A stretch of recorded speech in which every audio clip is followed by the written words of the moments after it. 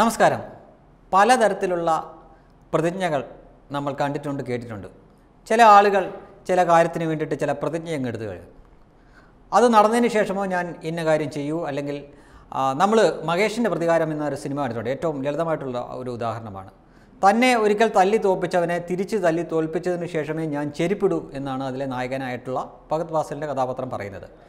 എന്ന് പറഞ്ഞ പോലെ ഇവിടെ ഇന്ത്യയിലെ ഒരു രാഷ്ട്രീയ പാർട്ടിയുടെ അതും ദേശീയ രാഷ്ട്രീയ പാർട്ടിയുടെ ഒരു സംസ്ഥാനത്തെ പ്രസിഡന്റ് തന്നെ പറഞ്ഞിരിക്കുന്നു. എന്റെ സംസ്ഥാനത്ത് ബി ജെ പി അധികാരത്തിൽ തിരിച്ചെത്തിയതിന് ശേഷം മാത്രമേ ഞാൻ അത്താഴം കഴിക്കൂ എന്ന് അതിന്റെ അർത്ഥം ആഹാരമേ കഴിക്കില്ല എന്നല്ല.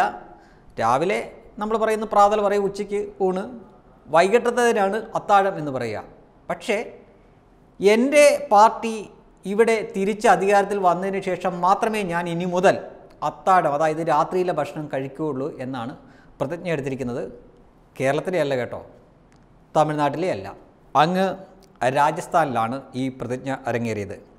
ആ അധ്യക്ഷന്റെ പേര് സതീഷ് പൂനി എന്നാണ്. സംസ്ഥാനത്ത് ബി ജെ പി സർക്കാർ രൂപീകരിച്ചതിന് ശേഷം മാത്രമേ ഞാൻ ഇനി മുതൽ അത്താഴം കഴിക്കൂ എന്നാണ് അദ്ദേഹത്തിന്റെ ശപഥം. നമുക്കറിയാവുന്ന പോലെ തന്നെ മധ്യപ്രദേശും രാജസ്ഥാനുമൊക്കെ ബി ജെ പി ആയിരുന്നു ഭരിച്ചുകൊണ്ടിരുന്നത്. പിന്നീട് തിരഞ്ഞെടുപ്പിൽ അവിടങ്ങളിലേക്ക് ഭരണം പോയി. പക്ഷേ മധ്യപ്രദേശിൽ ജ്യോതിരാദിത്യ സിന്ധ്യനെ തങ്ങളുടെ പാളയത്തിലേക്ക് കൊണ്ടുവന്നുകൊണ്ട് ബി ജെ പി അവിടെ ഭരണം തിരിച്ചു പിടിക്കുകയുണ്ടായി ഇതേപോലെ രാജസ്ഥാനിലും പറ്റുമായിരുന്നു. പക്ഷേ രാജസ്ഥാനിൽ രാജമാത എന്നറിയപ്പെടുന്ന അവിടുത്തെ വസുന്ധര രാജ സിന്ധ്യയായിരുന്നു മുഖ്യമന്ത്രി ആയിരുന്നു കഴിഞ്ഞ കാലത്ത്. അവരൊരു തൻപോരിമകാരിയും കുറച്ച് കടുംപിടുത്തക്കാരിയൊക്കെ ആയതിനാൽ അവരുടെ നിർബന്ധത്തിന് വഴങ്ങണ്ട എന്ന് കേന്ദ്ര നേതൃത്വം ബി ജെ പിയുടെ കേന്ദ്ര നേതൃത്വം തീരുമാനിച്ചാലാണ് എന്ന് തോന്നുന്നു. നേരിയ ഭൂരിപക്ഷത്തിനാണ് അവിടുത്തെ ഭരണം പോയത് എങ്കിലും അവർ അപ്പുറത്തു നിന്ന് ആരെയെങ്കിലും ഇപ്പുറത്തേക്ക് ചാടിച്ച് ഭരണം തിരിച്ചു പിടിക്കാൻ വേണ്ടി ശ്രമിച്ചില്ല.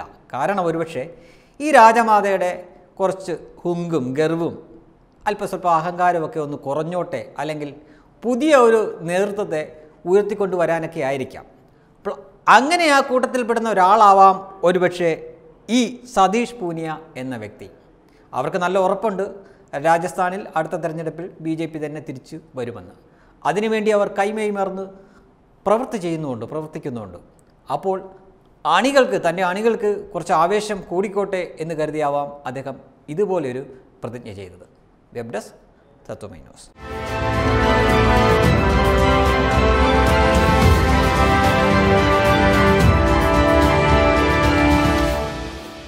കൂടുതൽ വാർത്തകൾക്കും വീഡിയോകൾക്കുമായി തത്വമയ ന്യൂസിന്റെ എല്ലാ പ്ലാറ്റ്ഫോമുകളും ലൈക്ക് ചെയ്യൂ സബ്സ്ക്രൈബ് ചെയ്യൂ.